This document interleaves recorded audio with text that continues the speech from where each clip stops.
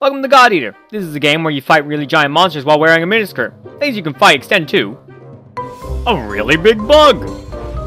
King Louie, the after years. Your first dog years after it went to the farm.